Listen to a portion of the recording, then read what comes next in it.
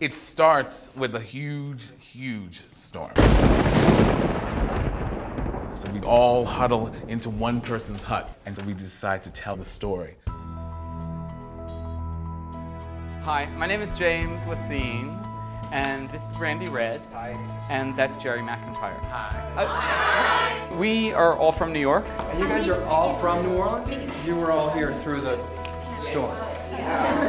After people came back, I don't think anybody said like, how do you feel about the experience? You know what I mean? No one took care of the problem, really.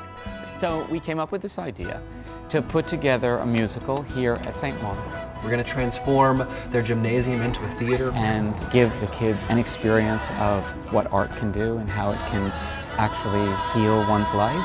You did good, y'all. Thank you, everybody. You are playing the part that Jerry Mack originated on Broadway. What do you think of that? Congratulations, big boy. It's almost like trying to change reality from the, the, reality that we live every day into this other reality of the show, which is something magical.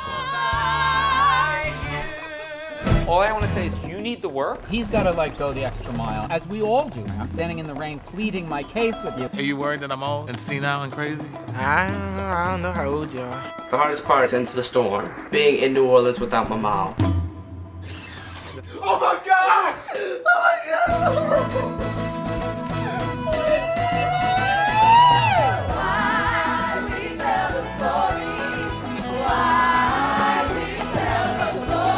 We have a little surprise. We've been invited to New York.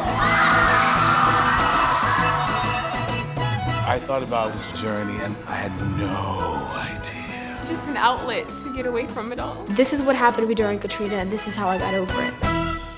Somebody might just feel inspired